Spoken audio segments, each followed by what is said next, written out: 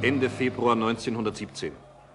Die Hauptstadt des Russischen Reiches dampft im Fieber der Revolution. Nach zweieinhalb Jahren Krieg, nachdem eineinhalb Millionen russischer Soldaten gefallen sind, brechen Not und Verzweiflung der hungernden Massen sich unaufhaltsam Bahn. Zuerst Massenstreiks, dann Massendemonstrationen, schließlich Straßenkämpfe. Als die gegen die Demonstranten ausgeschickten Truppen sich mit den aufständischen Proletariern verbünden, ist das Ende der Zarenherrschaft gekommen.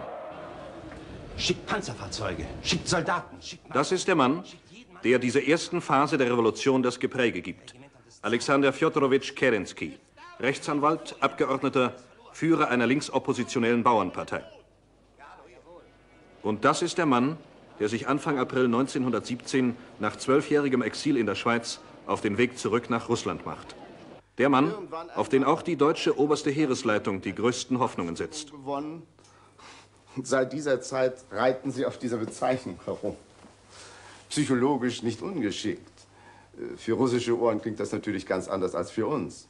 Und wenn man das immer wieder hört, Bolschewiki, Bolschewiki, Bolschewiki, Mehrheit, Mehrheit, Mehrheit. Naja, wenn Sie die Mehrheit haben. Sie haben sie nicht. Sie sind eine kleine Minorität. Es lebe die sozialistische Weltrevolution! Und der in Petrograd mit stürmischem Jubel empfangene Lenin enttäuscht die Hoffnungen des deutschen Oberkommandos nicht. Es darf für uns keine Gemeinschaft mit diesen erbärmlichen Kleinbürgern geben, die das Geschäft der Bourgeoisie besorgen. Mit den Menschewiki und Trudowiki und Narodniki und wie sie sich auch sonst noch alle nennen mögen. Mit diesen Sozialrevolutionären und Sozialdemokraten der ehrenwerten Herren Die Kerensky Spannung steuert einer neuen revolutionären Entladung zu, als Leo Trotzki Anfang Mai 1917 nach jahrelanger Immigration auch noch in die Heimat zurückkehrt. Es gibt keine demokratische Entwicklung, die das Proletariat an die Macht bringt. Es gibt nur Revolution, Zinoviev. Permanente Revolution. Schlag auf Schlag. Der Zar ist gestürzt, die Bourgeoisie hat die Macht ergriffen. Jetzt muss das Proletariat die Bourgeoisie stürzen. Mit Gewalt. Die Gewalt bricht sich Bahn. Juli 1917. Über die Köpfe der bolschewistischen Parteiführung hinweg rotten sich Matrosen, Soldaten und Arbeiter zu einem unorganisierten Aufstand gegen die Regierung Kerensky zusammen, die den Krieg gegen Deutschland und Österreich noch immer fortsetzt. Ihr seid schuld. Sie, Genosse Dann. Und Ihre Freunde. Ihr angeblichen Sozialdemokraten hat eure Vertreter in die Regierung geschickt. Die Massen haben es satt, dass ein paar Opportunisten im Petrograder Sowjet sie an die Kapitalisten verkaufen. Das Blut, das jetzt fließen wird, kommt über euch, Trotzki. Ihr habt an die Gewalt appelliert, jetzt frisst sie euch auf. Sie haben sich einer Verschwörung von Wahnsinnigen angeschlossen, Lev Davidovich. Gegen die Bolschewiki kämpfte in diesen Julitagen 1917 nicht nur die Kerensky-Regierung mit Panzerfahrzeugen, gegen sie stellen sich auch die beiden anderen großen Linksparteien, die menschewistischen Sozialdemokraten und die Sozialrevolutionäre. Der spontane Aufstand der Massen bricht zusammen.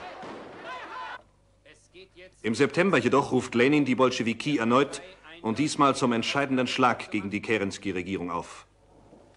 auf die Tagesordnung zu setzen ist der bewaffnete Aufstand in Petrograd und in Moskau. Auf die Tagesordnung ist die Eroberung der Macht, gleichzeitig in beiden Hauptstädten und damit der Sturz der Regierung zu setzen.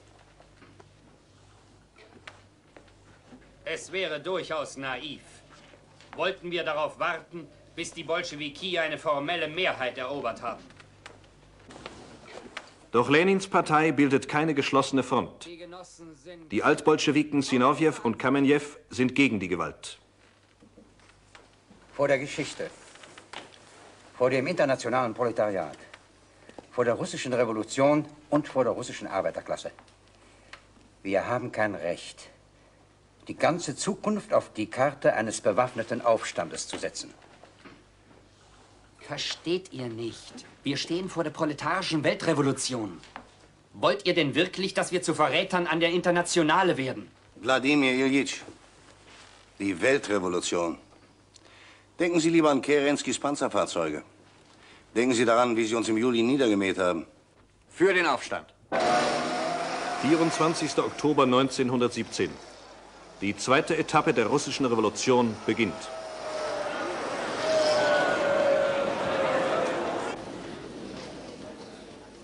Alexander Fjodorowitsch Kerensky, der Mann, der Russland in eine parlamentarische Demokratie nach westlichem Vorbild verwandeln wollte, ist am Ende. Ein Kanonenschuss des Kreuzers Aurora gibt das Signal zum Sturm auf das Winterpalais. Kerenskys letzte Bastion in Petrograd. Am 25. Oktober 1917 hat Russland eine neue Regierung. Die Partei der Bolschewiki, eine Minderheit, zugleich aber eine hervorragend organisierte Gruppe entschlossener Berufsrevolutionäre, hat mit dem bewaffneten Aufstand die Macht über das vom Krieg erschöpfte, von Hunger, Not, Elend und Revolution zermürbte russische Reich an sich gerissen. Die Oktoberrevolution hat gesiegt. Russland steht am Rande des Bürgerkrieges, Genossen. Überall kommen die Konterrevolutionäre aus den Löchern hervor. Die Beamten streiken, die Banken weigern sich, uns die Gelder auszuzahlen und die Bauern liefern kein Getreide mehr ab. Die Bolschewiki allein können die Verantwortung nicht mehr tragen. Der Rat der Volkskommissare muss erweitert werden, Genossen. Wir brauchen eine Koalitionsregierung aller sozialistischen Parteien. Das Zentralkomitee hat längst beschlossen, die Koalitionsverhandlungen mit den anderen Fraktionen des gesamtrussischen Sowjetkongresses aufzunehmen. Ja, aber nicht, weil ihr die Koalition wirklich wollt. Der Genosse Sinowjew hat recht. Der Beschluss lautet ausdrücklich, die Verhandlungen nur zu dem Zweck zu führen, um die Untunlichkeit einer solchen Politik bloßzustellen und damit allen Koalitionsplänen ein Ende zu setzen. Was wollen Sie mit einer solchen Politik erreichen, Wladimir Iljitsch? Wir müssen endlich einsehen, dass wir allein zu schwach sind. Wir können nicht dauernd nur mit Verboten regieren. Auch nicht nur mit Bajonetten. Mit Bajonetten kann man zwar einen Aufstand gewinnen. Mit Sie waren doch einer der wenigen, die gegen den bewaffneten Aufstand gestimmt haben. Genosse Kamenjew, das haben wir nicht vergessen. Jawohl. Ich war gegen den Aufstand. Ich war gegen die Gewalt. Sie haben den Aufstand durchgesetzt, Genosse Lenin, weil Sie die Macht haben wollten. Jetzt haben Sie die Macht. Und wie sieht diese Macht aus? Sie haben das Verbot aller nicht-bolschewistischen Zeitungen veranlasst. Ein Lenin, der sein ganzes Leben lang für die Pressefreiheit in Russland gekämpft hat, muss diese Pressefreiheit, die wunderbarste Errungenschaft der ganzen Revolution, beseitigen weil die Partei die Kritik ihrer Gegner zu fürchten hat. Wer Zeitungen verbietet, gibt seine Schwäche zu, Wladimir Iljitsch. Wir sind zu schwach. Wir regieren Petrograd, Moskau und noch ein paar Städte. Aber wir regieren nicht Russland. Wie sollten wir allein auch Russland regieren? Die Partei hat nicht einmal 300.000 organisierte Mitglieder. Und Russland hat über 150 Millionen Einwohner. In einer Woche sind allgemeine Wahlen. Nur ein Fantast kann hoffen, dass wir die Mehrheit bekommen. Die konstituierende Versammlung wird den Rat der Volkskommissare auflösen. Es könnte sein, dass wir die konstituierende Versammlung mit dem Bajonett auflösen werden, Genosse Rikow. So sieht die Freiheit aus, die Sie dem russischen Volk gebracht haben, Genosse Lenin. Die Freiheit. Welche Freiheit meinte denn der Genosse Kamenjew? Was das Proletariat braucht, ist nur die Macht. Die Freiheit braucht es nicht. Was ist sie eigentlich, diese sogenannte Freiheit? Sie ist nichts anderes als die bürgerliche Diktatur. In einem Staat, der sich zu Recht mit diesem Namen bezeichnet, gibt es sie nicht, diese Freiheit. Freiheit. Und wem soll sie eigentlich nützen? Das Volk will die Macht ausüben, also gibt man das Land den Bauern. Den Soldaten muss man den Frieden geben und den Proletariern die Macht. Jede Aktion, die sich nicht unmissverständlich dieses dreifache Ziel setzt, geht von einer falschen Interpretation des Marxismus aus. Wir können die Verantwortung für diese fatale Politik des Zentralkomitees nicht tragen. Diese Politik ist gegen den Willen eines großen Teils der Proletarier und Soldaten gerichtet. Das Proletariat will ein Ende des Blutvergießens. Eine rein bolschewistische Regierung kann sich nur durch politischen Terror an der Macht halten. Nehmen Sie zur Kenntnis, Genossen, dass wir einer solchen Regierung nicht angehören wollen.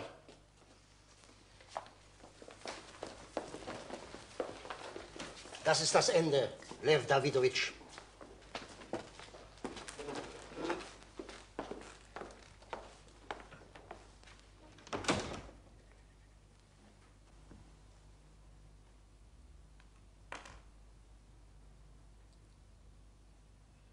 In Russland wird es keine andere Regierung geben als die Regierung des Sowjet, der Arbeiter, der Bauern und der Soldatendeputierten. Der gesamtrussische Sowjetkongress hat nun mal der Partei der Bolschewiki eindeutig die Mehrheit gebracht. Es kann also nur eine von uns gebildete Regierung als rechtmäßige Sowjetregierung betrachtet werden. Diese Streikbrecher und Deserteure mögen gehen. Die Bourgeoisie soll frohlocken und von Spaltung faseln, mögen die Konterrevolutionäre freudig unseren Untergang prophezeien. Sie werden sich täuschen. Nach mehr als drei Jahren Krieg, der auch jetzt, acht Monate nach dem Sturz des Zarismus, noch immer weitergeht, haben die Bolschewiki im Oktober 1917 nur eine Chance, sich an der Macht zu halten. Wenn es ihnen gelingt, Schluss zu machen mit diesem entsetzlichen Blutvergießen, das das russische Volk Millionen von Toten und Verwundeten gekostet hat. Als eine ihrer ersten Maßnahmen veröffentlicht die neue Sowjetregierung ihr Dekret über den Frieden. Den Aufruf an alle kriegführenden Staaten zum sofortigen Abschluss eines Waffenstillstandes. Doch dieses Dekret über den Frieden bringt zunächst nur propagandistischen Erfolg. An der russischen Front haben sich die Soldaten mit ihren Gegnern verbrüdert. In den kriegführenden Staaten wächst der Widerstand der Linksradikalen gegen die Regierungen. Der Friede aber bricht deshalb noch lange nicht aus.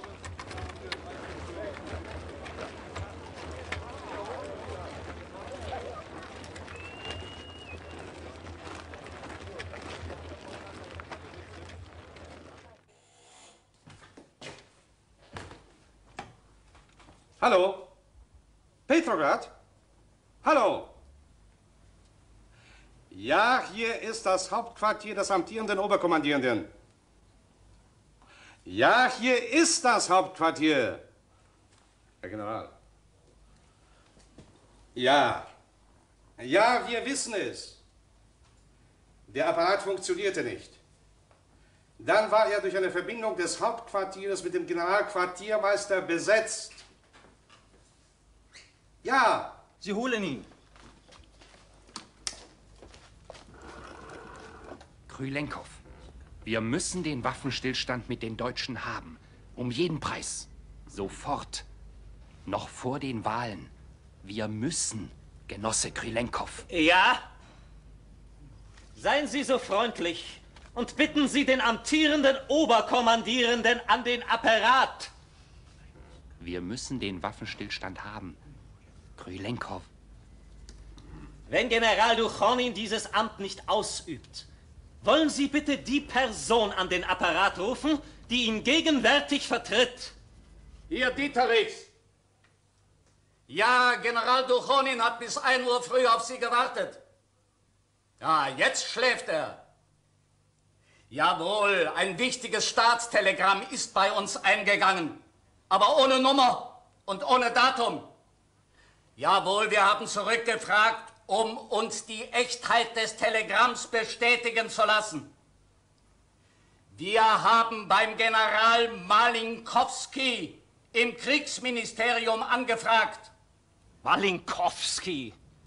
General Malinkowski ist lediglich mit der technischen Weiterführung auf dem Gebiet der Ausrüstung und Versorgung beauftragt. Die politische Leitung des Kriegsministeriums ist mir übertragen. General Duchonin weiß das genau. Wir erklären kategorisch, dass wir General Duchonin voll und ganz für die Verzögerung dieser wichtigen Staatsangelegenheit verantwortlich machen. Jawohl! Die sofortige Entsendung von Parlamentären zu den Deutschen. Wenn diese unnötige Verzögerung zur Hungersnot, zu einer Niederlage oder zu einem Zerfall führt, oder anarchische Zustände zur Folge hat, so trifft die ganze Schuld daran nur Sie allein. Und wir sorgen dafür, dass die Soldaten es erfahren. Ich werde das dem General melden. Jawohl, ich werde ihn sofort wecken lassen. Augenblick. Petrograd. Dieser Fähnrich Krylenko. Duchonin? Duchonin? Meine Herren, bevor ich einen Beschluss fassen kann, brauche ich folgende faktische Angaben. Beabsichtigt man, Verhandlungen über einen separaten Waffenstillstand aufzunehmen? Und mit wem? Nur mit den Deutschen oder auch mit den Türken? Und wie beabsichtigt man, mit der rumänischen Armee zu verfahren? Sie gehört schließlich zu unserer Front. Oder werden wir Verhandlungen über einen allgemeinen Waffenstillstand führen? Aber meine Herren, hat der Rat der Volkskommissare auf seinen Aufruf an die kriegführenden Staaten und auf sein Dekret über den Frieden überhaupt irgendeine Antwort erhalten? Keine Ausflüchte. Der Text des Ihnen zugestellten Telegrammes ist klar und deutlich. Ihre Aufgabe war es, nach Erhalt des Telegrammes die sofortige Aufnahme von Waffenstillstandsverhandlungen mit allen mit uns im Krieg befindlichen Staaten einzuleiten. Hören Sie, es steht Ihnen in keiner Weise zu, eine so wichtige Staatsangelegenheit durch irgendwelche Fragen zu verzögern. Ich hoffe, ich habe mich unmissverständlich ausgedrückt. Wir bestehen darauf, dass sofort, ohne weiteren Aufenthalt, Parlamentäre entsandt werden, gleich jetzt, in dieser Stunde. Ich begreife nur, dass Sie in Petrograd offenbar keine Möglichkeit haben, mit den kriegführenden Ländern unmittelbar zu verhandeln. Wie soll da ich Verhandlungen in Ihrem Namen führen? Ich bin ebenfalls der Auffassung, dass der schnellste Abschluss eines allgemeinen Friedens im Interesse Russlands liegt. Aber so, meine Herren,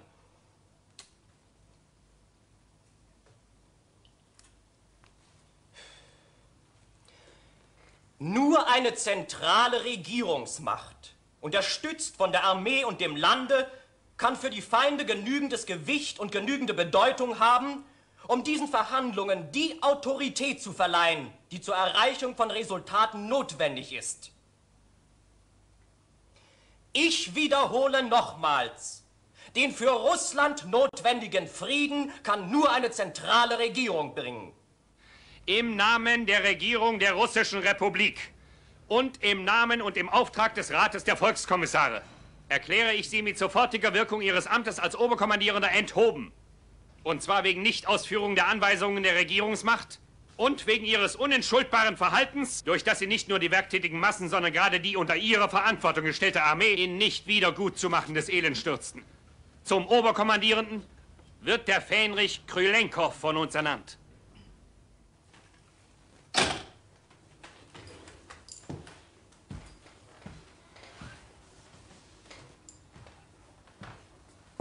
Diese ahnungslosen Narren, die glauben, man lässt ein paar Parlamentäre mit weißen Fahnen aus den Schützengräben klettern und schon bricht der Friede aus. Rat der Volkskommissare. Zehn Kilometer außerhalb von Petrograd kennt das sogenannte Volk nicht einmal ihren Namen. Welche Befehle erfallen Sie, Herr General? Ich äh, gar keine, mein Lieber. Ich gehe wieder schlafen. Man hat mich meines Amtes enthoben. Lassen Sie mich wecken, wenn mein Nachfolger ankommt. Unser lieber Fähnrich Krylenko.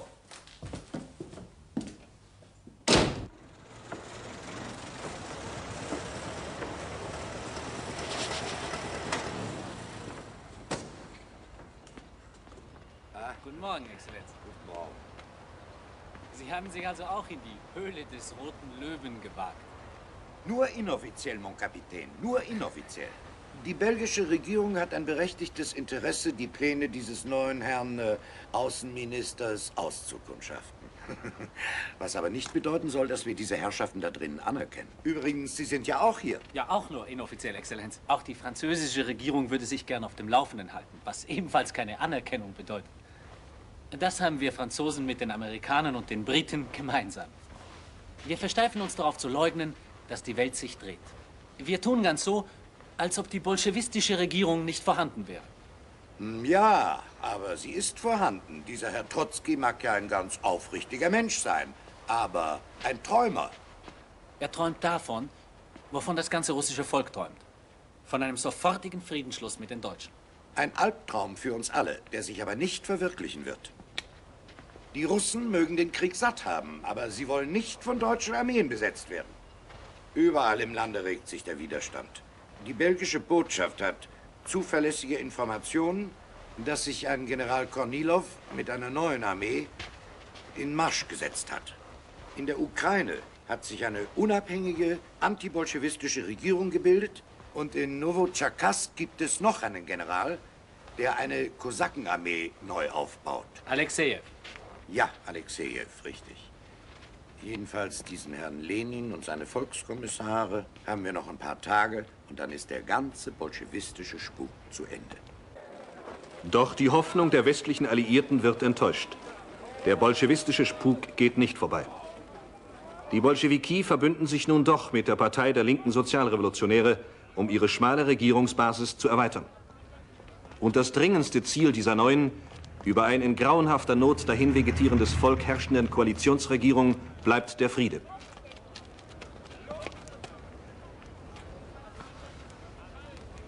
Wenn Lenin den hungernden und frierenden Massen schon kein Brot, keine Kohle, keine Kleidung geben kann, muss er ihnen zumindest ein Ende des Krieges bringen.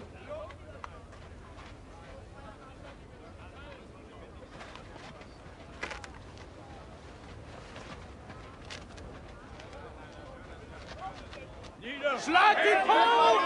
Da ist er! An die Bäume! An die Generäle! Schlag sie doch alle tot, die Schweine! General Dochonin, Sie haben sich geweigert, dem vom Rat der Volkskommissare ernannten neuen Höchstkommandierenden das Kommando zu übergeben. Sie lügen, Fenrich Krilenko. Ich habe erklärt, dass ich das Oberkommando jeder gesetzlich autorisierten, vom Senat ernannten Person abtreten werde. Sie sind durch kein Gesetz autorisiert, Fenrich Krilenko.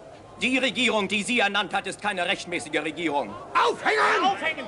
Aufhängen! Einen Galgen mit ihm! Ruhe! Ruhe, Genossen!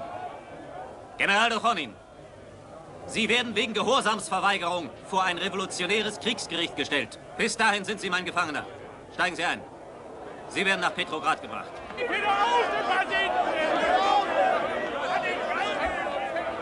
Aufhängen! Aufhängen! Genosse Matrose! Niemand hängt hier! Und niemand wird gehängt. Die Revolution wird sich ihre Hände nicht mit unrecht vergossenem Blut besudeln. Wir sind Soldaten, keine Mörder. Hingerichtet wird nur, wen ein Gericht zum Tode verurteilt hat.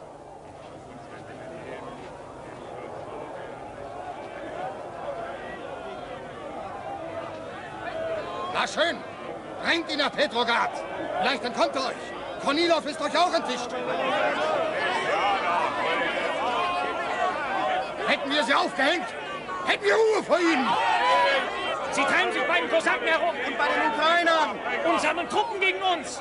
Sie wollen den Krieg fortsetzen, die Herren Generale. Sie wollen Kerensky zurückholen, diese Schufte. Sie wollen den Zaren wieder auf dem Thron haben.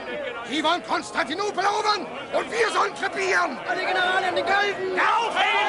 Wir brauchen kein Kriegsgericht. Wir machen selber Schluss mit ihm.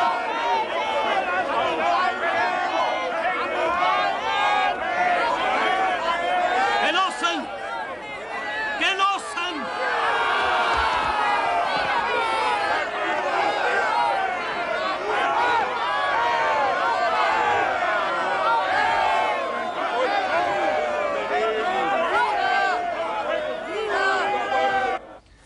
Ich habe Sie vergeblich in Ihrem Ministerium gesucht.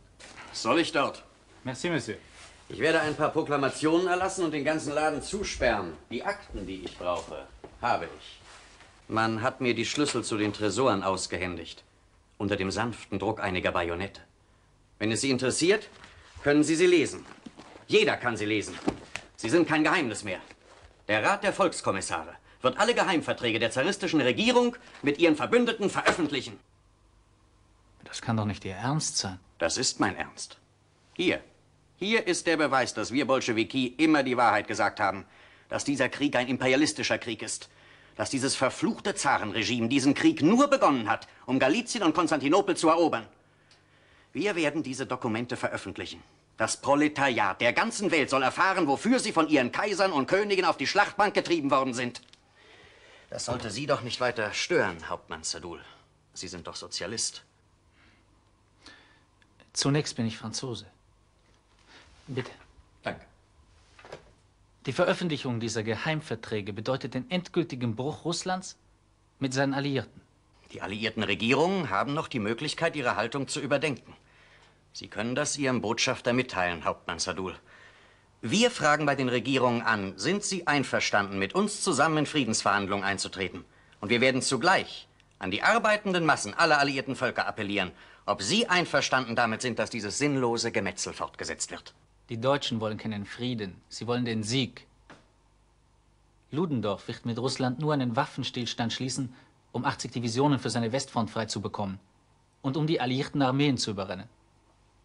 Glauben Sie wirklich, dass es dem Sozialismus nützt, wenn die Deutschen in Paris einmarschieren? Das russische Heer und das russische Volk können nicht länger warten. Wenn uns die Bourgeoisie der Alliierten zu einem Separatfrieden zwingt, wird die Verantwortung dafür auf sie fallen. Aber die Deutschen sind es doch, die keinen allgemeinen Frieden wollen. Die Deutschen werden mit uns verhandeln. Unter dem Druck der Massen müssen sie sich unserer Anklage stellen. Verlassen Sie sich darauf, Hauptmann Sadul. Die Ankläger in der Gestalt der russischen revolutionären Friedensdelegation werden ihrer Aufgabe gewachsen sein. Brest-Litovsk. Hier trifft Trotzki Ende Dezember 1917 zu Friedensverhandlungen mit den Deutschen und den Österreichern ein. Und er ist entschlossen, den Verhandlungssaal von Brest zum Exerzierfeld weltrevolutionärer Propaganda zu machen.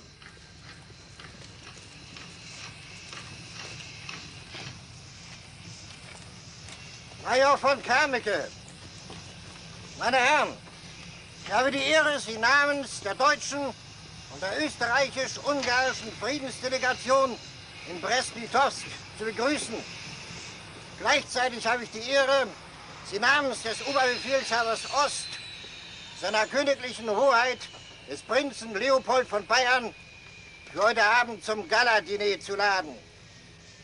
Für Offiziere Uniform, für die Herren Delegierten Smoking.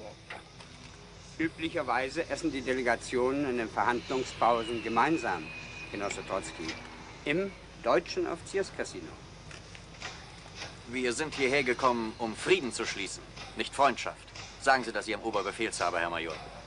Die russische Delegation nimmt ihre Mahlzeiten allein ein. Wollen Sie jetzt bitte dafür sorgen, dass wir in unsere Quartiere gebracht werden?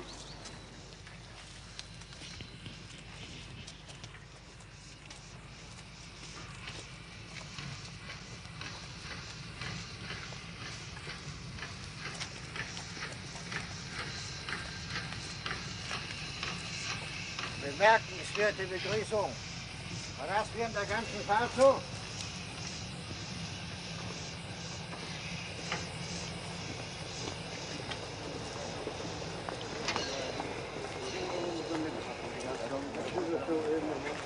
Die Fahrt durch die russischen Linien zur deutschen Front dürfte ein ziemlicher Schock für die Herren gewesen sein, Herr Major.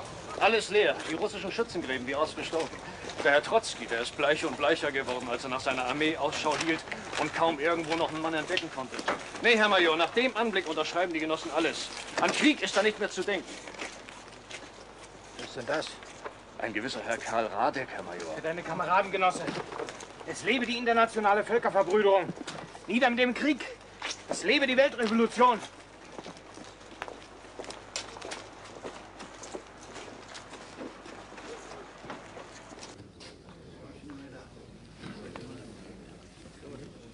Das ist ein Affront. Das ist ein Affront ohnegleichen.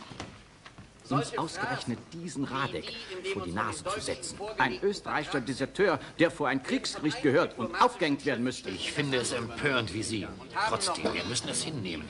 Wir brauchen diesen Vertrag, General Hoffmann. Vielleicht noch dringender als die Russen. Ich nehme mir daher die Freiheit vorzuschlagen, dass der Passus von der Freundschaft zwischen Russland und den Staaten, die Sie vertreten, aus dem Vertragsentwurf gestrichen wird. Ich muss dem Herrn russischen Delegationsführer recht geben. Von Freundschaft kann zumindest auf russischer Seite keine Rede sein. Hier. Broschüren, Flugblätter von einem seiner Begleiter unter schamloser Ausnutzung seines diplomatischen Status eingeschmuggelt. Der Herr General scheint den Einfluss der Wahrheit auf seine Soldaten zu fürchten. Wahrheiten, Herr Trotzki? Wüste Beschimpfungen und ungeheuerliche Verleumdung der deutschen Armee und des deutschen Oberkommandos. Das liegt an der weltanschaulichen Verschiedenheit zwischen uns beiden. Der General ist zugegeben in keiner beneidenswerten Lage. Er muss mit mir über den Frieden verhandeln.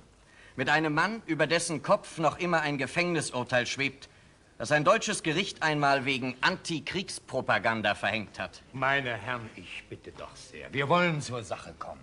Die Sache ist die, dass die deutschen und österreichischen Delegierten zwar vom Frieden sprechen, dass sie aber die russischen Gebiete, die ihre Truppen besetzt haben, auch nach Unterzeichnung eines Friedensvertrages nicht räumen wollen. Ich nenne nur Polen, die Ukraine.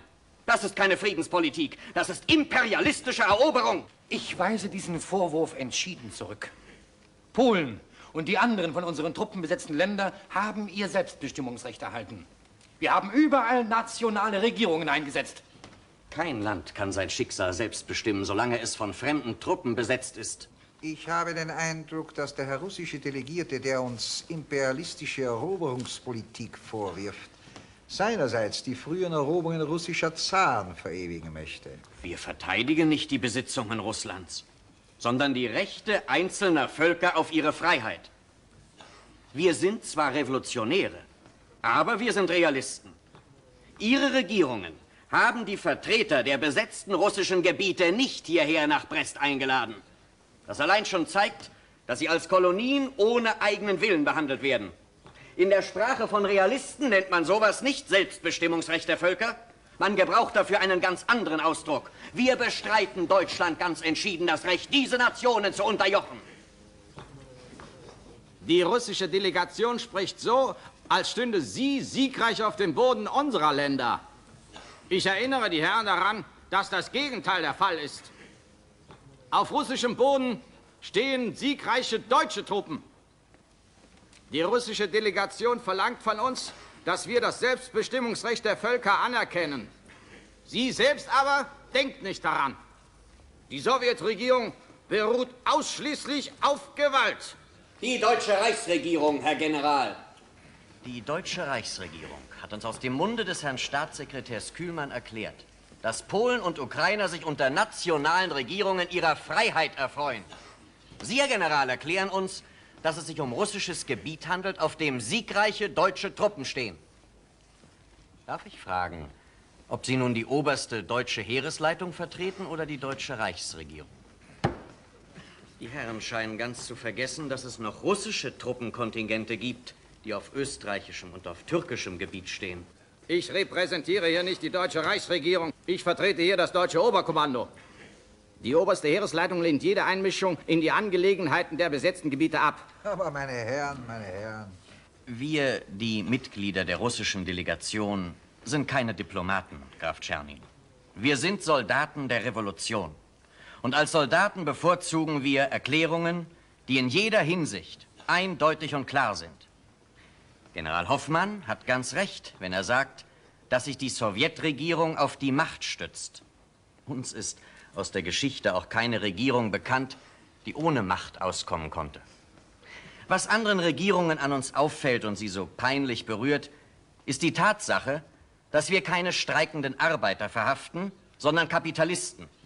Dass wir nicht auf Bauern schießen, die Land fordern, sondern Grundbesitzer und Offiziere verhaften, die auf Bauern zu schießen versuchen. Im Übrigen ersuche ich die Konferenz auf einige Tage zu unterbrechen. Ich sehe mich gezwungen, meine Regierung von der mir unannehmbar scheinenden deutschen Forderung zu informieren, russisches Gebiet auch nach Unterzeichnung eines Friedensvertrages durch deutsche Soldaten besetzt zu halten. Exzellenz Ludendorff ist der Meinung... Was heißt der Meinung? Ich erteile Ihr Befehl, mit diesem Theater in Brest-Litovsk Schluss zu machen. Wie lange sollen wir noch mit diesem bolschewikischen Gesindel verhandeln? Sie haben zu unterschreiben, sonst gar nichts. Ausgerechnet diesen Quatschkopf Hoffmann muss ich da sitzen haben. Hören Sie? Ja, ja, ich verstehe. Habe ja alles gehört. War ja laut genug. Im Hauptquartier sieht natürlich alles anders aus als hier, wo die Herren Diplomaten immer dazwischen funken. Entweder man verhandelt oder man marschiert. Ich bin für Marschieren, wenn Sie mich fragen. Trotzki? Ah, Trotzki ist wieder zurück nach Petrograd. Er will sich neue Vollmachten holen. Ah, die haben ja jetzt dort zum Parlament oder sowas. Ich habe äh, verstanden, Herr General. Ich werde Exzellenz ausführlich berichten. Habe verstanden, Herr General. Hat sich wieder mal von unseren Herren Diplomaten einwickeln lassen, wie? Die russische Delegation hat auf Unterbrechung der Verhandlungen bestanden. Offenbar wollen die Herren die Eröffnung der konstituierenden Versammlung in Petrograd abwarten. Den Spaß vergönne ich Ihnen. Sowas von der Wahlniederlage hat es noch nicht gegeben. Keine 25 Prozent der Stimmen für diesen Lenin und seine Bolschewiken. Ich habe so das Gefühl, Bauer, es dürften ganz andere Herren nach Brest-Litovsk zurück an den Verhandlungstisch kommen. Ich möchte nicht sagen, dass das unbedingt ein Vorteil für uns ist, Herr General. Lenin und diese Bolschewiki brauchen den Frieden. Das ist überhaupt das Einzige, was sie an der Macht halten kann. Aber die anderen Parteien? Wenn nach Lenin ein neuer Kerensky kommt, der den Krieg lieber weiterführt, bevor er kapituliert. Wer immer nach diesem Lenin kommt, es bleibt ihm gar nichts anderes übrig, als zu unterschreiben. Es gibt keine russische Armee mehr, die länger als acht Tage Widerstand leisten könnte. Der Ofen ist aus. Das ist unser Glück, Bauer. Und das ist unsere Rettung. Wir brauchen jeden Mann für die Westfront. Und die Österreicher brauchen jeden Sack Getreide, der in der Ukraine überhaupt aufzutreiben ist. Vor dem taurischen Palais erwarten Maschinengewehre die nicht bolschewistischen Demonstranten, die die konstituierende Versammlung begrüßen wollen. Achtung! Feuer! An diesem 5. Januar 1918 sind die Bolschewiki und die mit ihnen verbündeten linken Sozialrevolutionäre entschlossen, sich die Macht von der konstituierenden Versammlung nicht aus den Händen nehmen zu lassen.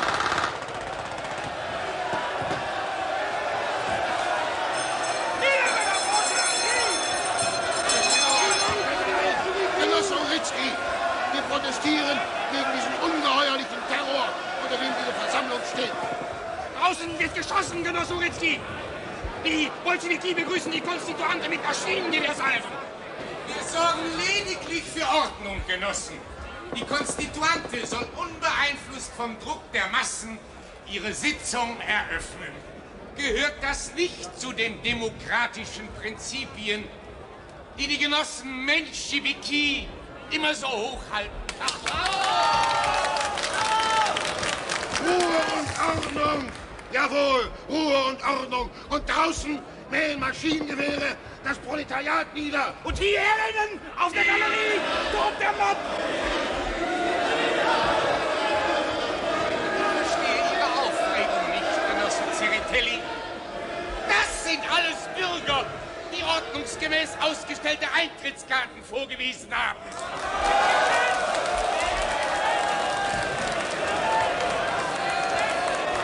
Eintrittskarten von wem ausgestellt, Uritzki?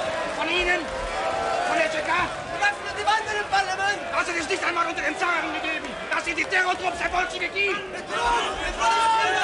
Alle Gewalt, Genosse Oritzki.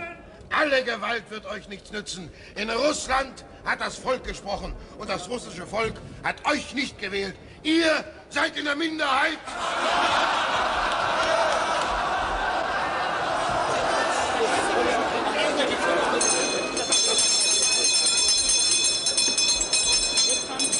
Geklingelt, Herr Präsident.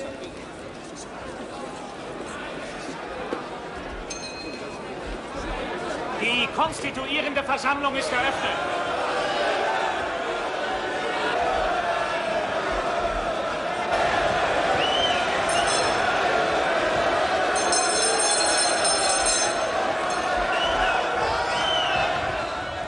Bürgerabgeordnete, im Namen des Exekutivkomitees des gesamtrussischen Sowjets, der Arbeiter, Bauern und Soldatendeputierten eröffne ich diese Versammlung.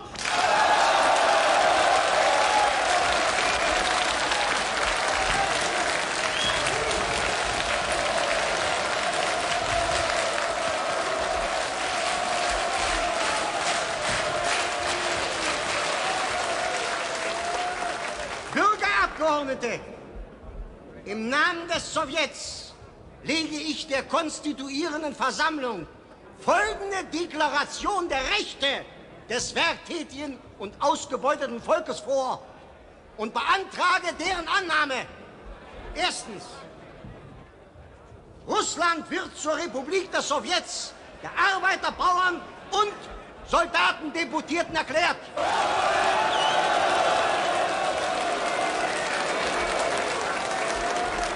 Gesamte zentrale und lokale Staatsmacht gehört den Sowjets.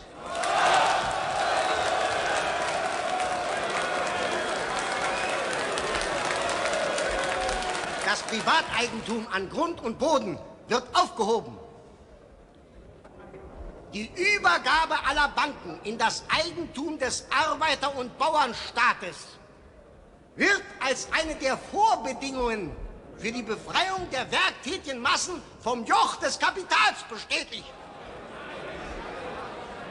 Um die parasitären Schichten der Gesellschaft zu beseitigen, wird die allgemeine Arbeitspflicht eingeführt. Um den Werktätigen die unumschränkte Macht zu sichern, wird die Bewaffnung der Werktätigen, die Bildung einer sozialistischen Roten Armee der Arbeiter und Bauern und die völlige Entwaffnung der besitzenden Klassen dekretiert. Macht muss gänzlich und ausschließlich den werktätigen Massen und ihren bevollmächtigten Vertretern, den Sowjets, der Arbeiter, Bauern und Soldaten Deportierten gehören.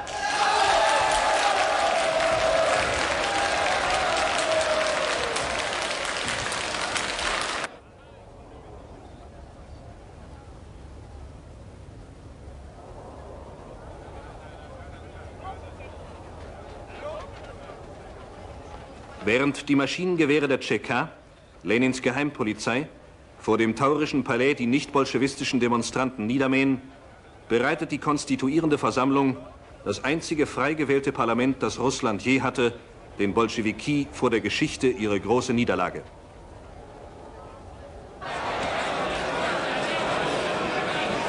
Bei der Wahl des Präsidenten bleibt die von den Bolschewiki unterstützte Führerin der linken Sozialrevolutionäre, Maria Spiridonova, rettungslos in der Minderheit.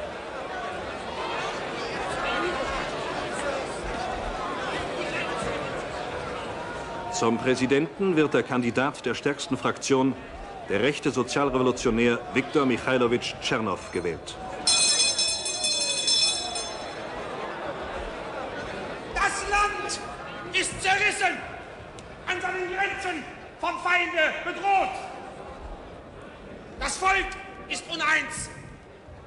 Die bolschewistische Regierung hat die bürgerlichen Freiheiten vernichtet.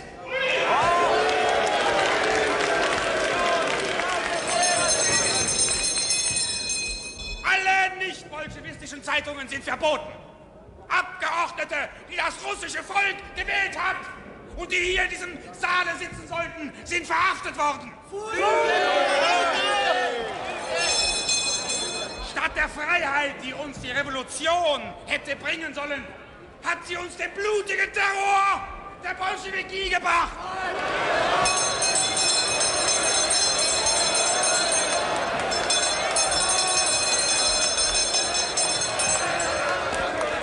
Die Debatte ist beendet. Die Bürgerabgeordneten werden zur Abstimmung über den Antrag der Partei der Bolschewiki aufgefordert. Wer für den Antrag stimmt, möge die Hand heben.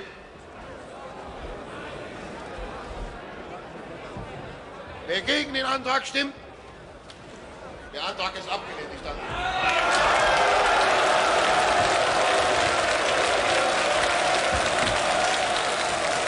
Damit hat sich die konstituierende Versammlung selbst entlarvt. Sie ist nichts anderes als ein Deckmantel für den konterrevolutionären Kampf der Bourgeoisie gegen die Sowjetmacht. Wir wollen mit ihr nichts mehr zu tun haben. Nichts. Nichts.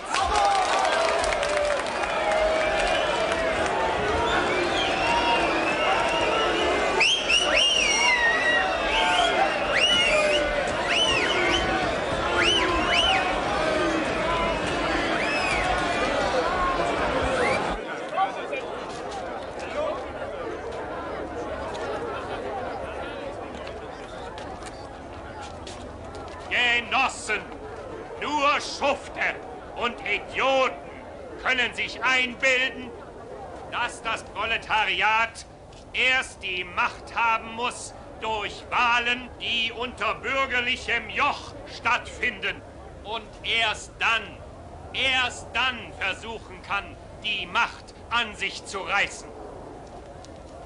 Wir dagegen behaupten, dass das Proletariat erst die Bourgeoisie stürzen und die Macht an sich reißen muss, um diese Macht, die Diktatur des Proletariats, dann so zu gebrauchen, dass es die Sympathie der Majorität der Werktätigen für sich gewinnt.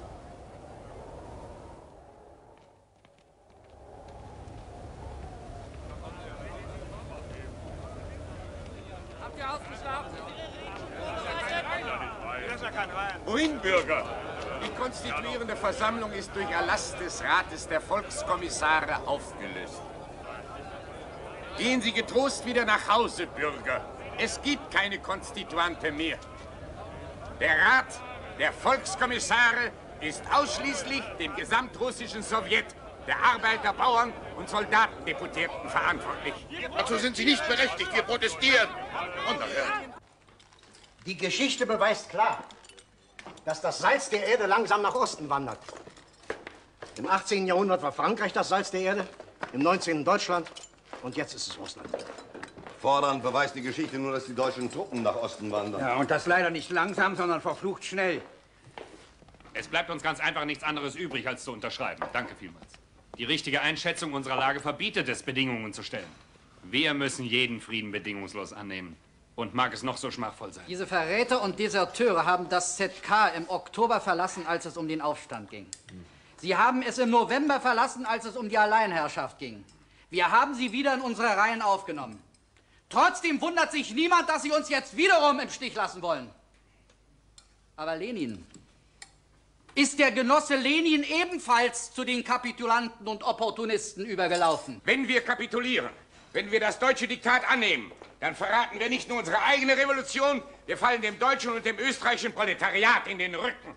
Und wenn wir nicht kapitulieren, Genosse Uritzki, dann werden uns die Massen hinwegfegen. Die Masse? Seit wann kümmert sich der Genosse Lenin um die Masse? In ihrer tiefen Verzweiflung ist auch die dumpfe Masse zu spontanen Ausbrüchen fähig. Und die Verzweiflung ist da, sie ist überall. Und nur wer blind und taub ist, kann sie übersehen oder kann sie überhören. Gegen die spontane Verzweiflung gibt es probate Mittel, Genossen. Wir haben die Konstituante zerschlagen. Ja, wir haben sie auseinandergejagt. Und die Masse hat geschwiegen dazu. Aber nur, weil wir den Bauern Land und den Soldaten Frieden versprochen haben. Und wenn wir jetzt unsere Versprechungen nicht wahrmachen, den Soldaten Frieden und den Bauern Land zu geben, dann wird uns eine neue Revolution davonspülen. Und verlasst euch darauf, die Regierung, die nach uns kommt, wird zu härteren Bedingungen kapitulieren müssen. Das ist russisch gedacht. Engstirnig russisch. Wir stehen hier nicht nur für das russische Proletariat, sondern für das Proletariat der ganzen Erde. Schlägt der Genosse Dzerzhinsky vielleicht die Führung eines revolutionären Krieges vor? Revolutionärer Krieg. Das ist ein Wort. In Deutschland und in Österreich wird sich das Proletariat erheben und mit uns gemeinsam die Hohenzollern und Habsburger davonjagen. Ihr träumt ja. Ihr fantasiert. Niemand wird sich erheben. Ich wünsche uns, wir würden hier so sicher auf unseren armseligen Holzbänken sitzen, wie die Hohenzollern und die Habsburger auf ihren Thronen. Womit wollt ihr euren revolutionären Krieg führen? Mit ein paar tausend Kronstädter Matrosen? Mit Doritzkis lettischen Scharfschützen, die nicht einmal ausreichen, um unsere eigenen Konterrevolutionäre im Zaum zu halten? Seid ihr denn tatsächlich blind? Fragt Kamenev. Er ist durch die russische Front nach Brest gefahren. Fragt ihn, wie viele Soldaten er in den russischen Schützengräben gesehen hat. Fragt Trotzki. Er soll euch die Wahrheit sagen. Die Wahrheit ist, dass die Deutschen in acht Tagen in Petrograd sind. Wenn wir nicht unterschreiben. Die Geschichte beweist... Ja, dass Russland das Salz der Erde ist. Das haben wir heute schon einmal von Genossen Sverdlov gehört. Aber ihr, ihr seid im Begriff, dieses Salz zu verschütten. Ihr wollt kapitulieren. Es gibt so etwas wie einen heiligen Egoismus der russischen Revolution. Wollt ihr euer eigenes bisschen erbärmliches Leben retten, indem ihr euch unter dem deutschen Soldatenstiefel duckt? Ihr wollt den deutschen Polen opfern. Ihr wollt ihm die Ukraine ausliefern. Ist das die Weltrevolution, die wir dem internationalen Proletariat versprochen haben? Die westliche Welt geht mit der Revolution schwanger. Aber die russische Revolution hat bereits ein Kind geboren.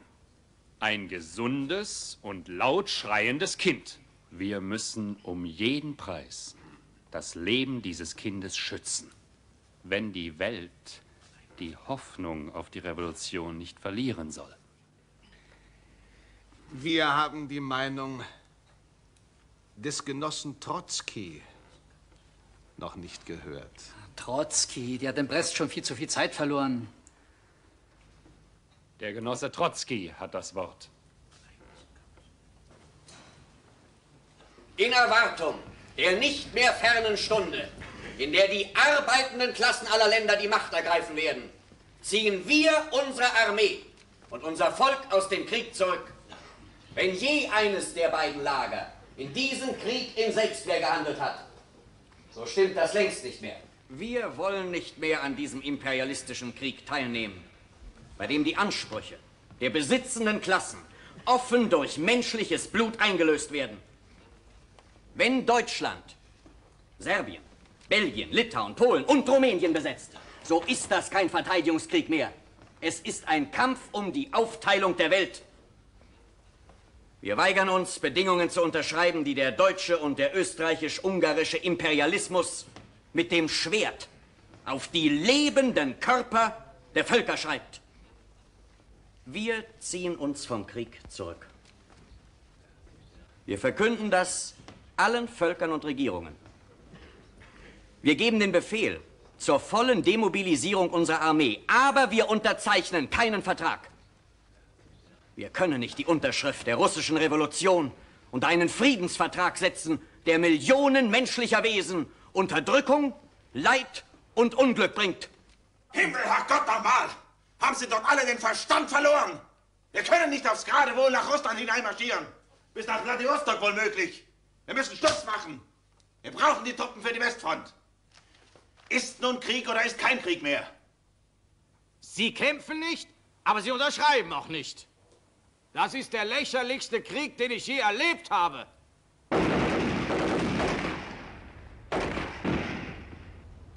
Und der Krieg geht weiter. Die Bolschewiki sind zwar mit der konstituierenden Versammlung fertig geworden, aber die deutschen Truppen können sie nicht aufhalten. Und diese deutschen Truppen rücken unaufhaltsam weiter vor, um die Unterzeichnung des Friedensvertrags zu erzwingen. Trotzkis propagandistischer Appell an die Weltöffentlichkeit berührt die deutsche oberste Heeresleitung nicht.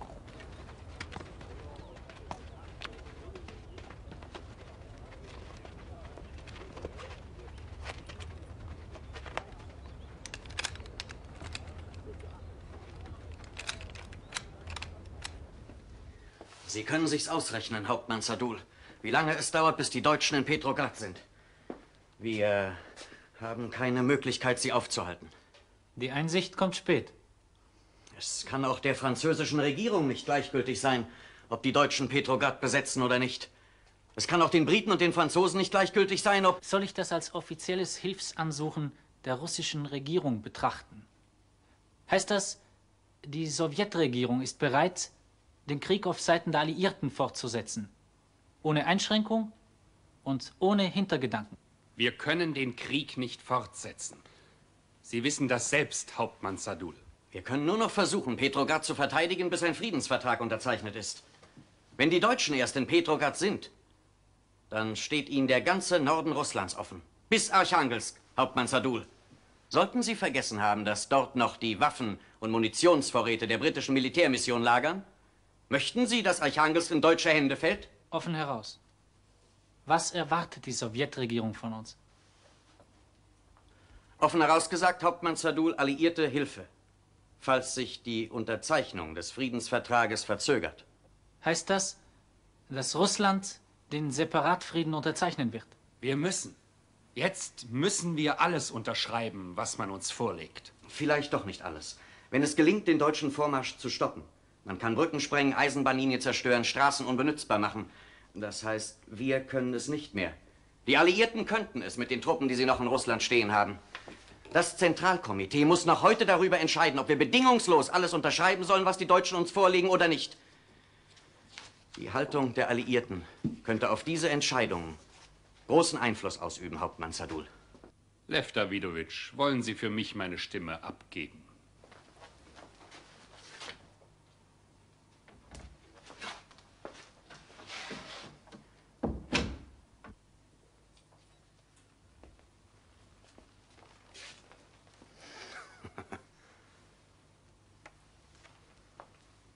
Ja, meine Russischkenntnisse sind leider nicht so gut, wie Sie glauben.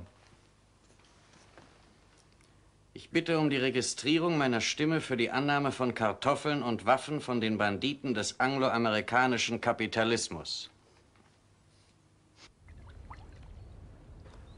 Auch gesprengte Brücken können jetzt nicht mehr helfen. Nichts mehr kann den deutschen Vormarsch aufhalten. Nichts mehr kann Russland vor der Kapitulation und vor dem Verlust seiner Randstaaten bewahren, die Trotzki in Brest-Litovsk noch retten wollte.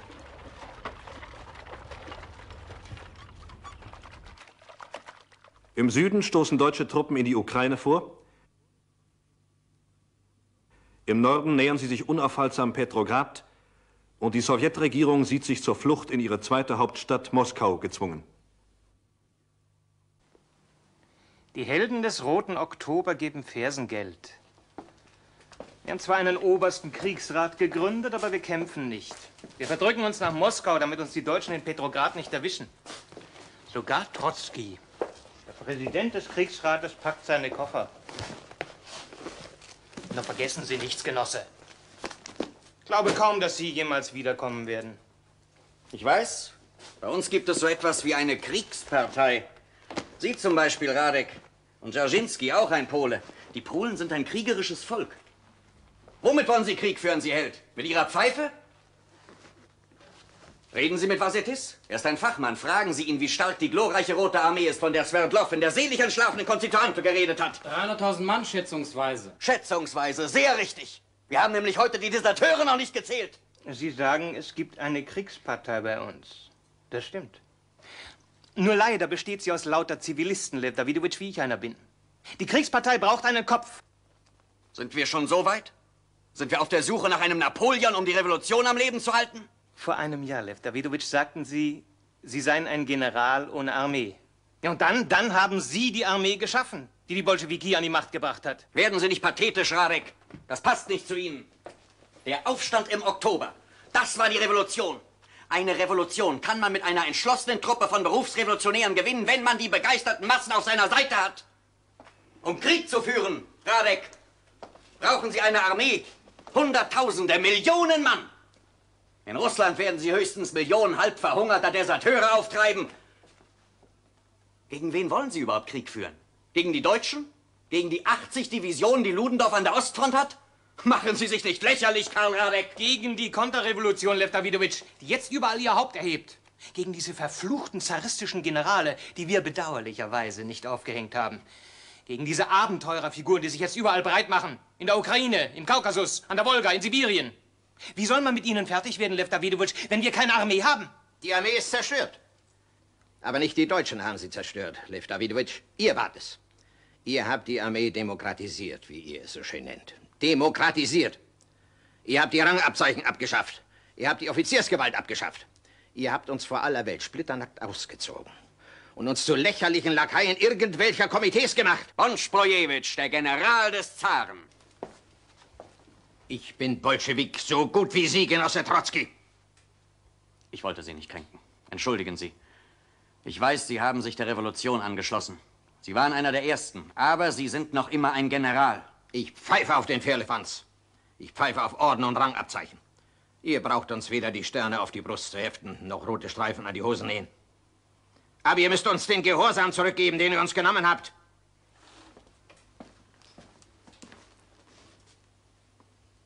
Eine revolutionäre Armee kann nur eine Armee von Freiwilligen sein. Wir müssten zuerst den Enthusiasmus der Revolution mobilisieren und dann erst die Rekruten.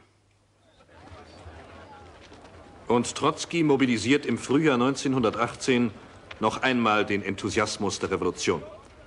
Aus zerlumpten Bauern, aus halb verhungerten Proletariern mobilisiert er die ersten Einheiten der Roten Armee. Doch zunächst kommt diese Rote Armee viel zu spät, um eine Schicksalswende zu erzwingen.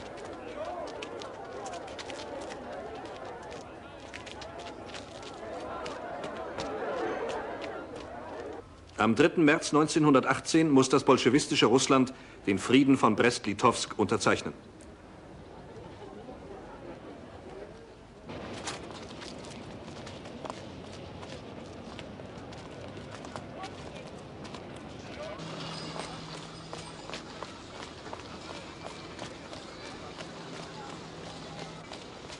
Deutsche und österreichische Verbände beherrschen die Ukraine, Russlands Kornkammer.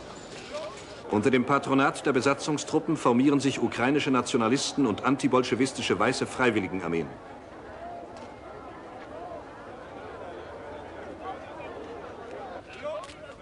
Die ukrainischen Lebensmittelvorräte sollen die Verbündeten im vierten Kriegsjahr vor dem Verhungern retten. Doch im Untergrund wächst der Widerstand der ausgeplünderten Bauernschaft.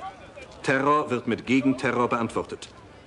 Das grauenvolle Blutvergießen, das Russland drei Jahre lang heimsuchen sollte, beginnt. Unter dem Eindruck der ukrainischen Vorgänge kündigen die linken Sozialrevolutionäre den Bolschewiki, die den Frieden von Brest-Litovsk unterzeichnet haben, die Koalition auf. Und in dieser zum Zerreißen gespannten Lage beginnt in Moskau der allrussische Sowjetkongress der Arbeiter, Bauern und Soldatendeputierten. Unser Land den deutschen Imperialisten ausgeliefert. Aber wir, die ukrainischen Bauern, wollen uns nicht der deutschen Tyrannei. Ihr seid schamlos genug zu dulden, dass dieser Mann dort oben sitzt. Herr von Milwa, Vertreter jener Macht, unter deren Blute der ukrainische Bauer blutet. Fängt ihn auf! Aber wir, die Bauern, erheben uns überall gegen die verfluchten Deutschen.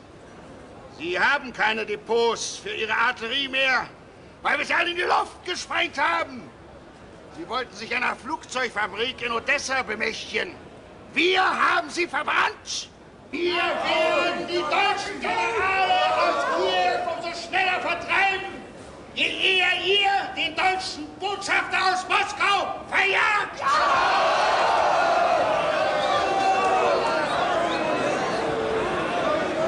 Der Deputierte Alexandrov prahlt hier mit Heldentaten, die keinen anderen Erfolg haben können, als das ukrainische Volk noch tiefer ins Unglück zu stürzen. Er und seinesgleichen wollen die Sowjettruppen zum Krieg gegen die Deutschen aufwiegeln. Diese angeblichen ukrainischen Helden sind nichts anderes als die verkappten Agenten des anglo-französischen Imperialismus, die mit dem Blute des russischen Proletariats und der ärmsten Bauernschaft ihren verabscheuungswürdigen Krieg auf russischem Boden weiterführen wollen.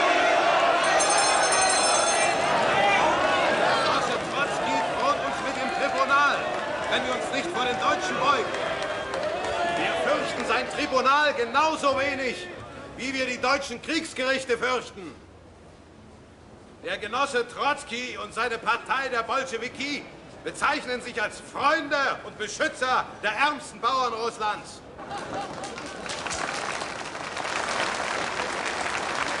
Wir, die linken Sozialrevolutionäre, sagen dem Genossen Trotzki, die sogenannten Komitees der Dorfarmut sind nichts anderes als Komitees von Dorfstrolchen. Die Kommandos, die die Bolschewiki in die Dörfer schicken, um Lebensmittel zu requirieren, sind nichts anderes als Räuberbanden, die die ärmsten Bauern ausplündern wollen. Wir werden sie genauso unerbittlich bekämpfen, wie wir die deutschen Räuber und Plünderer bekämpfen werden. Oder glaubt man, dass unsere Bauernsoldaten untätig zusehen werden, wenn ihre Brüder durch die Agenten dieses Banditen, dieses Henkers erschlagen werden?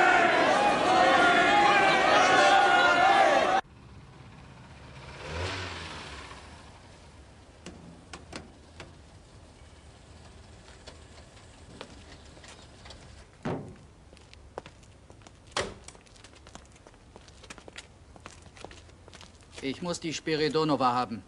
Die Dame wird allmählich gefährlich. Überall hat sie die Hand im Spiel, wo unsere verehrten Genossen Sozialrevolutionäre Unruhe stiften. Sie hat ihre Erfahrung und ihre Leibwache. Sie macht keinen Schritt ohne schwer bewaffnete Begleitung. Ich weiß. Wir haben zu viele Sozialrevolutionäre in die TK aufgenommen. Außerdem ist sie populär. Es wird ein entsetzliches Geschrei geben, Genosse Dzerzhinsky. Ja. Seit sie als junges Mädchen einen zaristischen Gouverneur getötet hat, ist sie beinahe so was wie eine Nationalheilige. Trotzdem, wir müssen sie bekommen. Um jeden Preis. Auch in Bargeld, wenn es damit geht.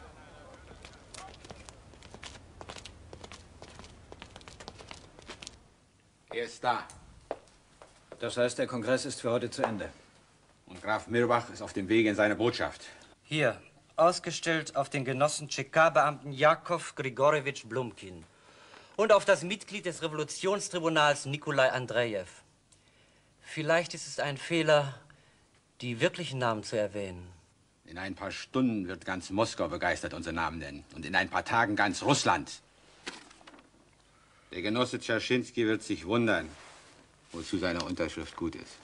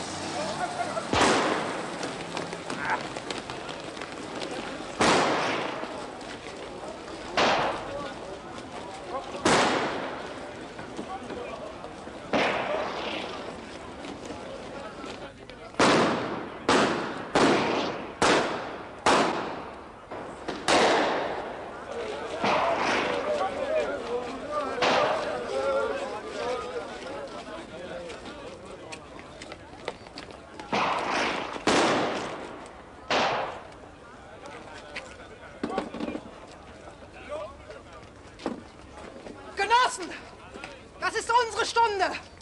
Die Stunde, in russische Volk vom unerträglichen Terror der bolschewikischen Verräter befreien werden. Wir werden sie herausholen aus ihren Schlupfwinkeln. Diese Räuber und Mordbrenner.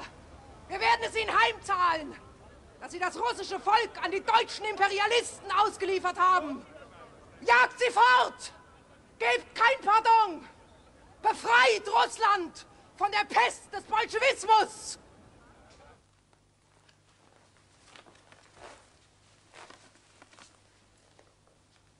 Meine Herren, die CK hat Sie bevollmächtigt, in einer meine Person betreffenden Angelegenheit bei mir vorzusprechen. Nehmen Sie Platz.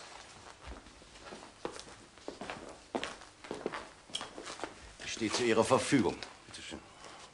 Die CK hat im Zusammenhang mit einem geplanten Attentat einen Offizier namens Robert Mirbach festgenommen. Robert Mirbach? Ja, stimmt, ich habe Verwandte, aber einen Robert Mirbach. Es dürfte den Botschafter interessieren, was jetzt gegen ihn unternommen wird. Achtung, Exzellenz! Meine Herren, das ist doch ganz offensichtlich. Man sieht doch ganz. Exzellenz, Sie sind ja Hilfe! Wache!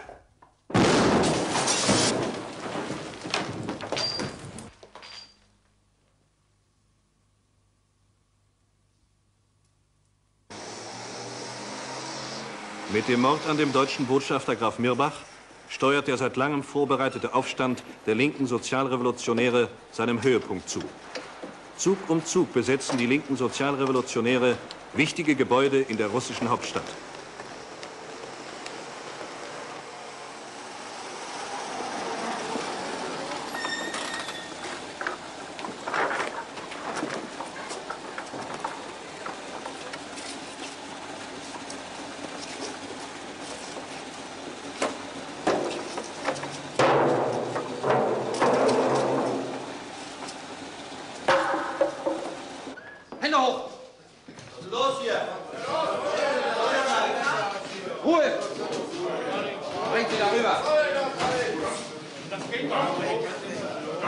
Das zentrale Moskauer Telegrafenamt ist hiermit vom Exekutivkomitee der linken Sozialrevolutionäre übernommen worden. Die Weitergabe von Telegrammen mit den Unterschriften Lenin, Trotzki und Sverdlov ist ab sofort untersagt. Bringt sie wieder an die Apparate. An alle Ortssowjets in Russland ist sofort folgendes Telegramm durchzugeben. Schreiben. Der Vertreter des deutschen Imperialismus, Graf Mirbach, ist im Vollzug eines Beschlusses des Zentralkomitees der linken Sozialrevolutionäre getötet worden. Die linken Sozialrevolutionäre sind nunmehr an der Macht.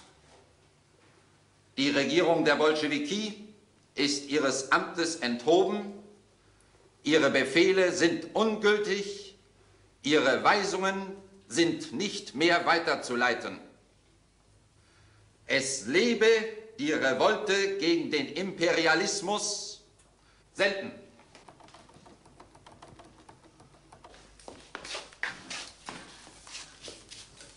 Also ich drücke Ihnen mein persönliches Mitempfinden aus, Herr Legationsrat. Herr Leutnant, ich Den Wisch hat der Exzellenz noch in der Hand. Die Sowjetmacht ist erschüttert. Die Unterschrift muss gefälscht sein. Ich habe niemals Auftrag zu einer solchen Vorsprache gegeben. Die Tscheka bedauert den Vorfall, Herr Leutnant. Seien Sie versichert, dass der Tod Ihres Herrn Botschafters nicht ungesühnt bleiben wird. Wir wissen, wo wir die Mörder zu suchen haben. Darf ich? Bitte? Herr Leutnant, ich bedauere das außerordentlich. Der Aufstand muss von langer Hand vorbereitet gewesen sein. Sie haben alles ganz genau überdacht. Diese Person weiß, wie sowas gemacht wird. Maria Spiridonova. Hm. Wir hätten sie hängen sollen. Sie alle. Diese ganze hirnlose Bande von Terroristen. Sch-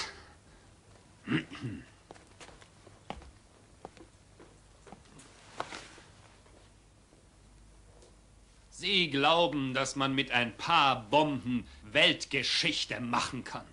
Vielleicht sollten wir ihr noch dankbar sein. Sie hat uns den Beweis geliefert, dass neben den Bolschewiki keine andere Partei mehr in Russland geduldet werden darf. So.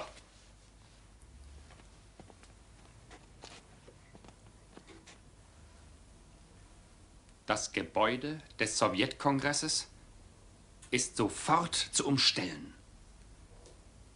Alle linken Sozialrevolutionäre sind zu verhaften. Die Straßen sind abzuriegeln. Die Prokowski-Kaserne ist unter Artilleriebeschuss zu nehmen.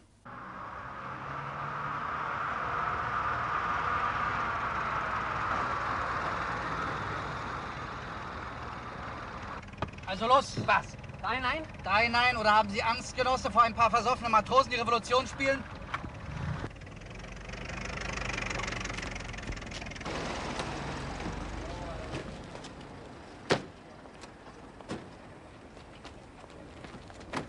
Wer ist der Anführer hier? Wenn Sie den Vorsitzenden des Komitees zur Verteidigung des Vaterlandes und der Freiheit meinen, Genosse Dzerzhinsky, der bin ich. Oberst Popov. Ich kann nicht einmal sagen, dass Ihre Anwesenheit hier mich überrascht. Genosse Popov. Die Tscheka ist nicht blind und auch nicht taub. Wir beobachten schon seit Wochen, mit welchem Eifer Sie rebellische Schwarzmeermatrosen und verräterische Deserteure für Ihre Einheit anwerben.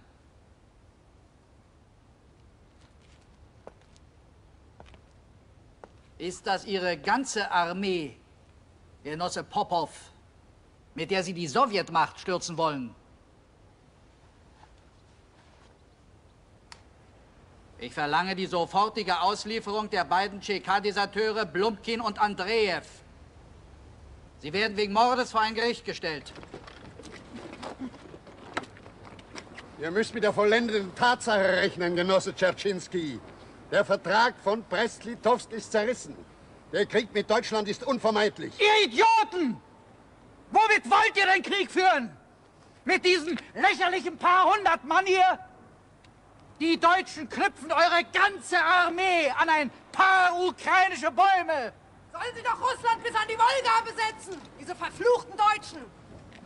Wenn wir sie nicht aufhalten können, werden wir in den Untergrund gehen. Behaltet die Macht. Wir wollen sie gar nicht. Aber wir werden euch zwingen zu kämpfen. Wir werden euch zwingen, dass ihr aufhört, damit die Lakaien und Speichellecker der Deutschen zu sein. Feuer! Ein! Ein!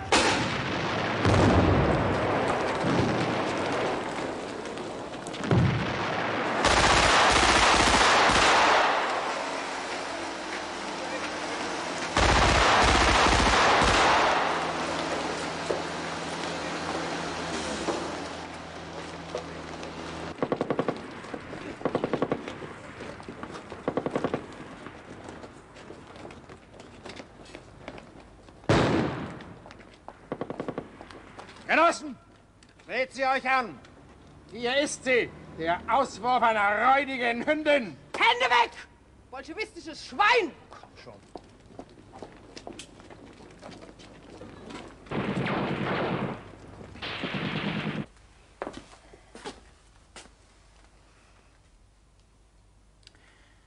Hat Vazetis seine Leute in der Hand? Wenn irgendeiner, dann Vazetis. Er ist Lette, Lev Davidowitsch, kein Russe. Lette und ehemals zaristischer Offizier. Können Sie nicht anders denn als Russe denken, Wladimir Iljitsch? Das lettische Scharfschützenregiment war vom ersten Tage an die Prätorianergarde der Revolution. Der Gedanke ist unerträglich. Das Schicksal Russlands in den Händen eines einzigen verlässlichen Regiments zu wissen. Wir brauchen eine Armee, Lev Davidowitsch. Dieser lächerliche Aufstand der linken Sozialrevolutionäre ist nur ein Anfang. Der nächste Versuch wird weniger lächerlich sein. Wir brauchen eine Armee. Der Aufstand der linken Sozialrevolutionäre bricht noch in derselben Nacht zusammen. Die Tscheka-Gefängnisse füllen sich mit Häftlingen. Die Bolschewiki haben an diesem Tag ihre letzten Verbündeten verloren. Sie haben damit aber auch zugleich ihre letzten organisierten Gegner ausgeschaltet.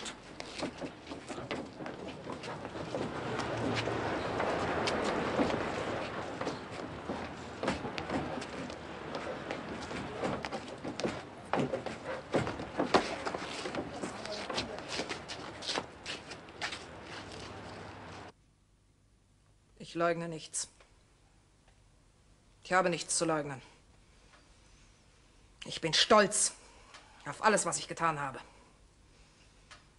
Ich habe die Ermordung dieses deutschen Henkers Mirbach von Anfang bis Ende organisiert.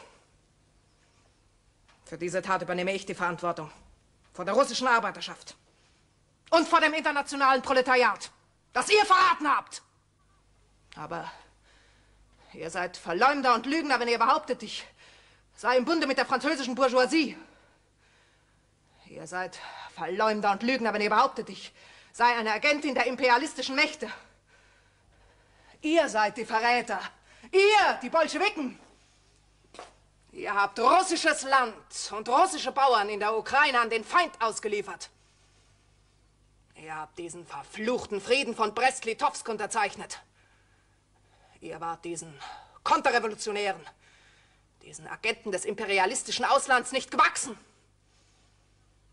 Ihr habt ihnen russisches Getreide gegeben, damit sie ihren verbrecherischen Krieg weiterführen können. Während die Proletarier in den Straßen unserer Städte, die ärmsten Bauern in den Dörfern verhungern.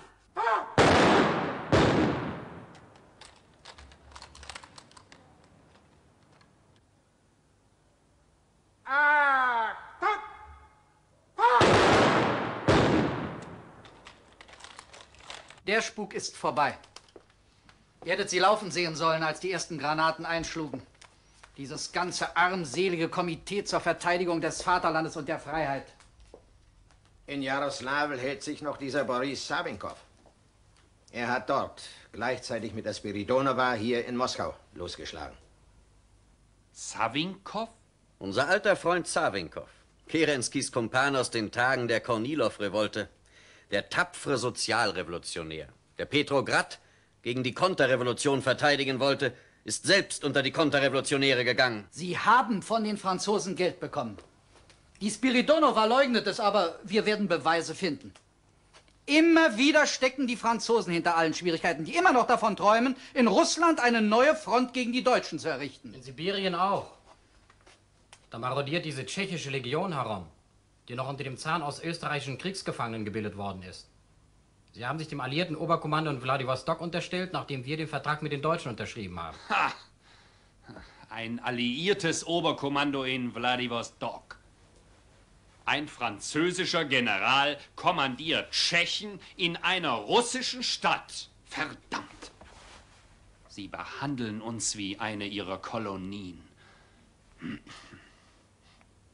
Haben wir nicht den Befehl gegeben, diese Legion zu entwaffnen? Sehr richtig, Wladimir Iljitsch. Wir haben Befehl gegeben. Aber wer fragt sich, sollte sie entwaffnen? Diese tschechische Legion ist über 50.000 Mann stark und kein wilder Haufen, sondern bestens ausgebildet. Noch unter dem österreichischen Kaiser. Es wird bald keinen österreichischen Kaiser mehr geben. Dafür aber einen selbstständigen tschechoslowakischen Staat. Das französische Oberkommando hat den Tschechen versprochen, sie über Wladiwostok nach Europa zurückzubringen. Um sie an der Westfront gegen die Deutschen einzusetzen. Stimmt, aber mit ihren Waffen. Und sie sind ausgezeichnet bewaffnet, Genossen. Ich wünschte, wir hätten in der ganzen Roten Armee eine einzige, so erstklassig ausgerüstete Truppe. Wie wollen Sie die entwaffnen, Genossen? Sie haben sich hier überall festgesetzt. An den Grenzen des Urals und entlang der sibirischen Eisenbahn. Wir müssen uns endlich einmal klar darüber werden, dass es jenseits des Urals Landstriche so groß wie die ganze Ukraine gibt, in denen sich noch nie ein Bolschewik gezeigt hat. Wir müssen uns eingestehen, dass die Macht der Sowjetregierung heute nicht weiter reicht als vor 500 Jahren die Macht der Großfürsten von Moskau. Aus allen Teilen des unermesslich großen Landes rücken die antibolschewistischen Kräfte näher an Moskau heran. Deutsche und österreichische Truppen halten nach wie vor die Ukraine besetzt.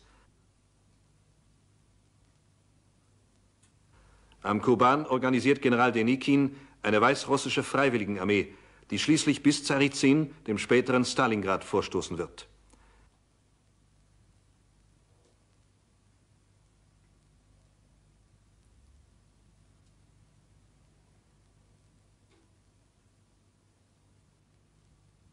Britische Truppenverbände landen in Murmansk und Archangelsk, wo noch die dem zaristischen Russland gelieferten Waffen und Munitionsvorräte lagern, und unter britischem Schutz bildet sich in Archangelsk eine antibolschewistische Regierung.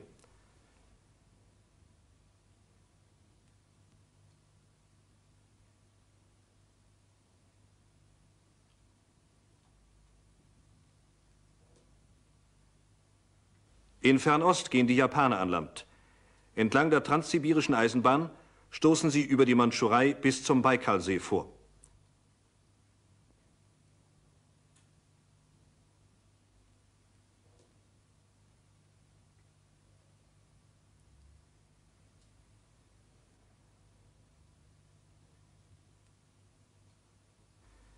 Den Japanern folgt ein amerikanisches Truppenkontingent.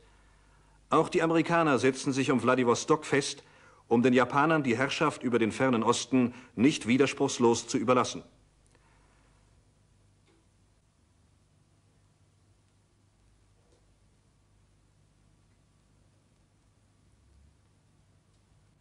Und dann machen sich die entlang der sibirischen Eisenbahn nach Wladiwostok abziehenden Einheiten der tschechoslowakischen Legion selbstständig. Bei Tscheljabinsk kehren sie um, verbünden sich mit weißrussischen Kosakenverbänden, erobern Perm, Kasan, Simbirsk und Samara und errichten an den Grenzen des Urals eine antibolschewistische Front. Von allen Seiten marschieren sie auf uns los. Sie werden uns zermalmen, wenn wir uns nicht zur Wehr setzen. Sie werden einander in Moskau die Hand reichen und sie werden uns von der Landkarte wegfegen. Wir haben die Rote Armee. Das ist keine Armee. Das ist ein wilder Haufen verlauster, barfüßiger, halb verhungerter Revolutionäre. Ohne Ausbildung, ohne Disziplin und ohne Führung. Wir brauchen geschulte Offiziere. Zaristische Offiziere vielleicht? Zaristische Offiziere, jawohl. Ich werde jeden aufnehmen, der sich meldet. Ist das die revolutionäre Armee, von der der Genosse Trotzki uns noch vor ein paar Monaten was vorgeträumt hat? Es ist Zeit, dass wir alle aus unseren Träumen erwachen. Sollen die proletarischen Massen sich wieder unter der Knute zaristischer Offiziere beugen? Sie sollen sich der Disziplin beugen und dem militärischen Gehorsam. Wir machen endgültig Schluss damit, fahnenflüchtige Feiglinge als Genossen Deserteure anzusprechen und sie anzuflehen, an die Front zurückzukehren. Die Offiziere werden uns verraten. Sie werden zu den verfluchten Weißen überlaufen. Wir werden sie zwingen, uns die Treue zu halten. Wir werden für jeden Überläufer eine ganze Familie zur Rechenschaft ziehen. Jeder Deserteur soll wissen, dass er seine ganze Familie verrät, wenn er uns verrät. Wir werden vor niemandem Halt machen. Nicht vor Vätern und Müttern, Nicht vor Brüdern und Schwestern, nicht vor Frauen und Kindern. Ich werde jeden Kommissar und jeden Kommandeur erschießen lassen, deren Regiment vor dem Feind flieht. Solange diese erbärmlichen Affen ohne Schwanz, die sich Menschen nennen, Armeen aufstellen und gegeneinander kämpfen, solange muss sich der Soldat vor die einzige Wahl gestellt sehen, vielleicht an der Front zu sterben. Ganz sicher aber hinter der Front vor einem Hinrichtungskommando, sobald er dem Feind den Rücken kehrt. Man kann keine Armee ohne Unterdrückung aufstellen. Man kann Menschenmassen nicht in den Tod führen, wenn man Furcht vor der Todesstrafe hat. Ich habe keine Furcht. Ich werde vor nichts zurückschrecken. Jedes Mittel wird mir recht sein. Über allem steht der Sieg der Revolution.